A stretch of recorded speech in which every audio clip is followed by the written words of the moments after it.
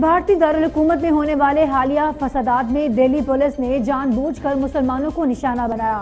ہلاکت خیز فسادات کے دوران پولیس نے ہندو ہجوم کی مدد کی۔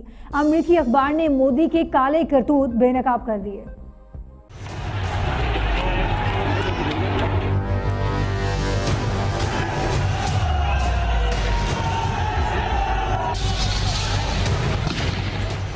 امریکی اخبار نیو یارک ٹائمز میں شائع ہونے والی رپورٹ میں کہا گیا ہے کہ حالیہ ثبوت سے یہ معلوم ہوتا ہے کہ ہلاکت خیز فسادات کے دوران مسلمانوں اور ان کے گھروں کو نشانہ بنانے میں نئی دہلی پولیس اجتماعی طور پر مسلمانوں کے خلاف گئی ہے اور پوری طرح سے ہندو ہجوم کی مدد کی۔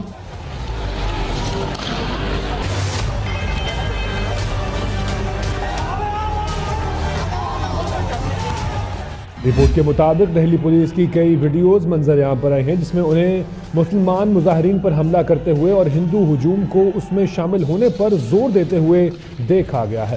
مذکورہ رپورٹ میں پولیس کمانڈر کا حوالہ دیتے ہوئے کہا گیا ہے کہ ہندو ہجوم کی جانب سے جیسے ہی پرتشدد کاروائیوں کا آغاز ہوا تو حکام نے تمام اہلکاروں کو اپنی بندوقیں تھانے میں رکھنے کا حکم دے دیا، جبکہ ہمیں ہجوم کے کنٹرول روم کے لیے لاٹھیاں نہیں، بندوقوں کی ضرورت تھی۔ تھوڑے دن کا وقت دو ہم ان کو سب کو ماریں گے۔ پولیس دنگائیوں کو پروٹیکٹ کر رہی ہے۔